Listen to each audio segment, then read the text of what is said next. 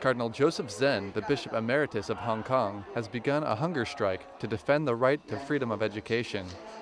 It comes as a response to the decision by the Supreme Court of Hong Kong to introduce a government committee in the management of a school. Now, in addition to parents and students, government officials will have a say on the school governance. With this hunger strike, the Cardinal denounces what he calls the danger of destroying Catholic education in the territory. The protest will last at least three days, during which the 79 year old Cardinal will take only water and communion.